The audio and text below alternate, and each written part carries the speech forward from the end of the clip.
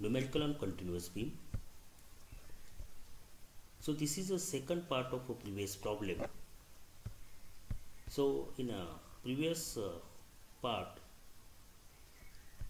we gone through the fixed end moment.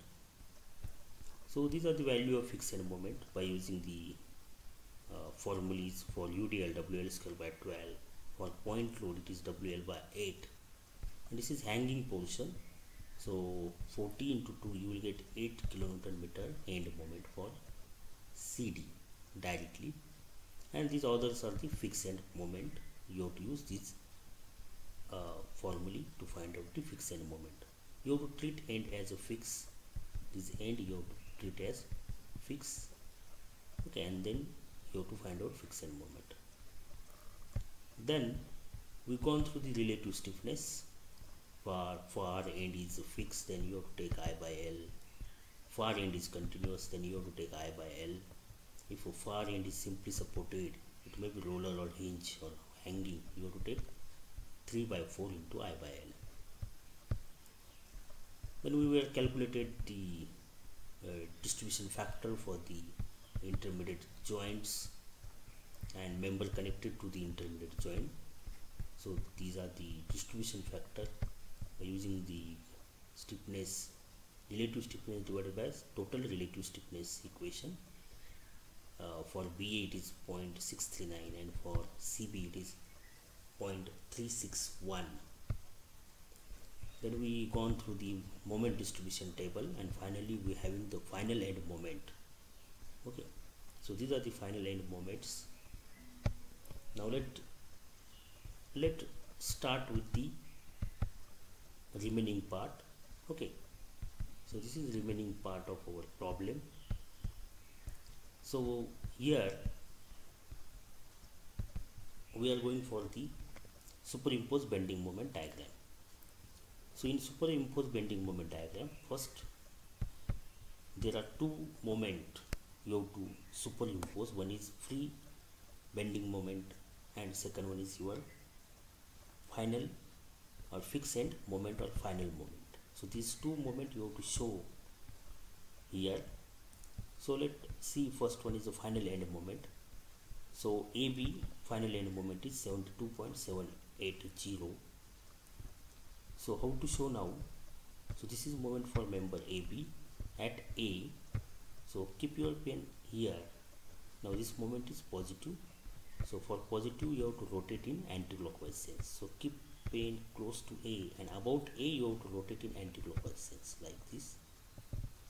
So it coming up so you have to show up 72.76 780 now next moment is minus 34.44 so minus means you have to take clockwise sign.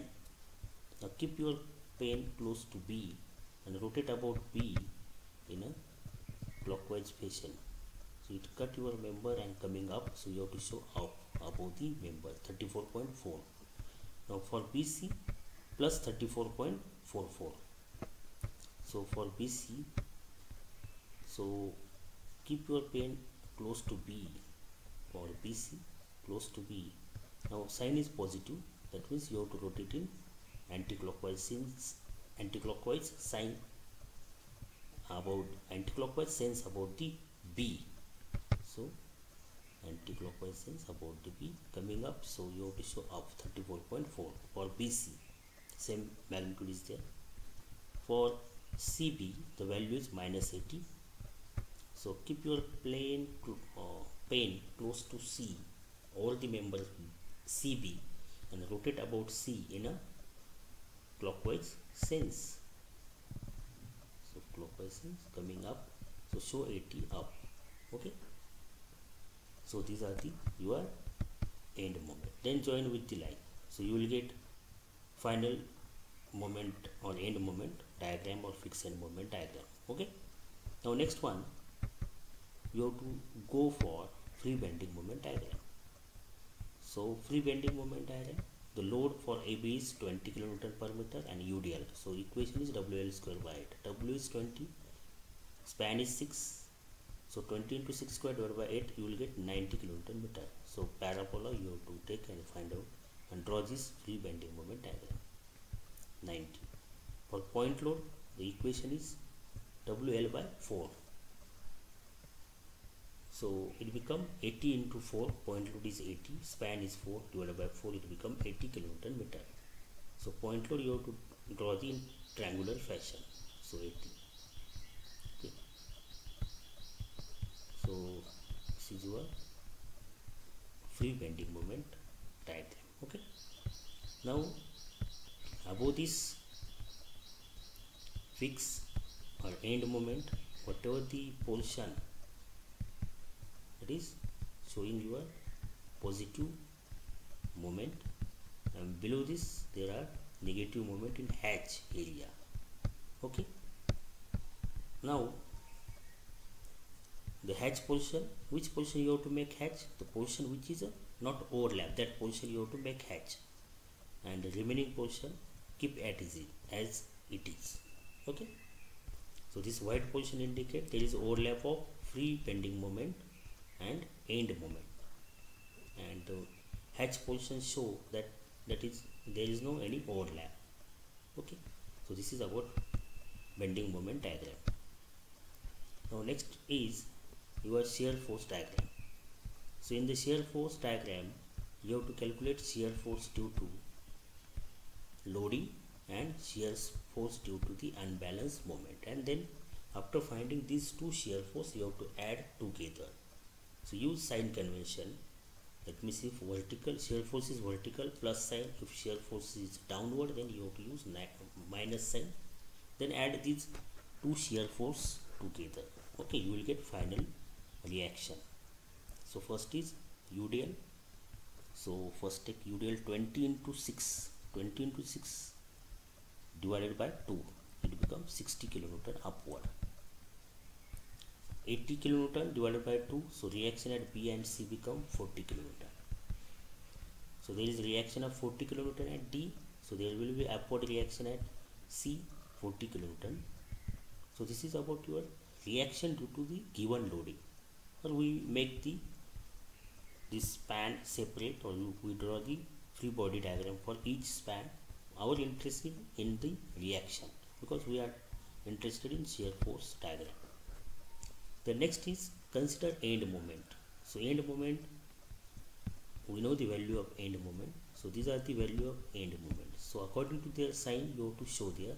First is plus sign so you have to show in anti-clockwise sense. Now minus 34.5 so you have to show in clockwise sense. Then again for BC the sign is plus so anti-clockwise. And at C the sign is minus that's why it is clockwise sense. Okay?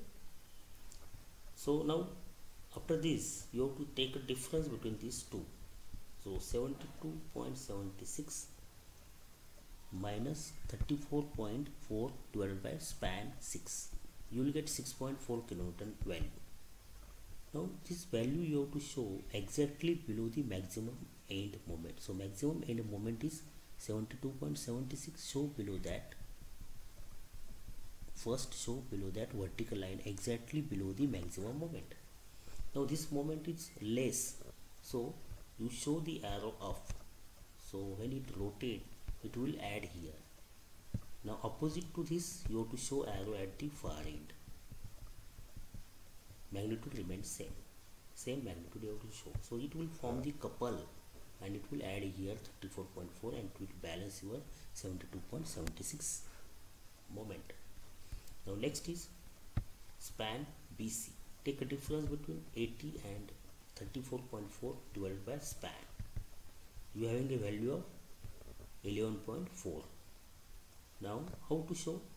Choose your maximum end moment. Below that you that value you have to show 11.4 kilonewton. Now there is a question of arrow. So how to show the arrow? It should be up y up. When it rotate it will add in the 34.4 so its direction is in anti-clockwise sense. This also 34.4 is also anti-clockwise sense. So both will get add together and balance this 80 kilonewton meter. That's why you have to show up. If it is up then far end you have to show directly in a downward direction. Magnitude you keep remain same 11.4 and 11.4 so it will form the couple and it will add in 34.4 and balance it okay so likewise you have to show the reaction due to the unbalanced moment. After doing this reaction due to the given loading and reaction due to unbalanced moment. Now add this value consider sign convention. Plus 60 plus 6.4 become 66.4 kilonewton positive up. Plus 60 minus 6.4 kilonewton it become 53.6 kilonewton positive so up. Plus 40 minus 11.4 kilonewton it become positive so up 28.6 kilonewton next is plus 40 and plus 11.4 it become 54.4 kilonewton positive so you have to show up then 40 kilonewton you would write down directly 40 kilonewton no there is no any reaction due to the unbalanced moment 40 kilonewton okay so now after getting the support reaction now these two 53.6 kilonewton due to the AB and 28.6 kilonewton due to the span BC. Add these two together, you will get final reaction at support B that is 82.2 kilonewton. Okay, and adding this 40 plus 51.4, you will get final reaction at C, and that value is 91.4 kilonewton. Now show the end the shear force diagram. First value is shear force reaction is 64.4 66.4 kilonewton so up. Now udl so inclined line is there. So 66.4 minus in bracket 20 into 6 so you will get value for 53.6 kilonewton so this one is 53.6 kilonewton so this total reaction or you may directly show here the upward you will get 28.6 kilonewton no load so you have to move horizontally. Then this will 80 kilonewton is there so 28.6 minus 80 so you will get minus 51.4 so matching with the 51.4 kilonewton value 51.4 kilonewton then you have to move up. The total reaction is 90.4 so minus 51.4 and this uh, this value is minus up. Well it will going to match with the 40 you may directly write down it as a 40 kilonewton no load so straight line up to this. So matching with this 40 kilonewton okay? So this is your shear force diagram. Okay? You there are two options when you are drawing a shear force diagram you consider the reaction and this loading or directly if you know, we know the value for each uh, span from this also you, we can directly draw the shear force diagram. You see here this value is 66.4 kilonewton so this you having 66.4 53.6 you having 53.6 28.6 you having 28.6 and no loading so it will be constant and you for the end this end the value will be 51.4 so here you write down 51.4 and for last it will 40 only how to draw when there is no load you maintain the straight line. Here you see no load straight line. Point load there is vertical line. So point load vertical line. No load in between this point load and C. So straight line. Here you draw the straight line. In between C and D no load so again there is a straight line. Point load there is a vertical line. Okay and for UDL there is an inclined line. Okay so this is your shear force diagram. Okay thank you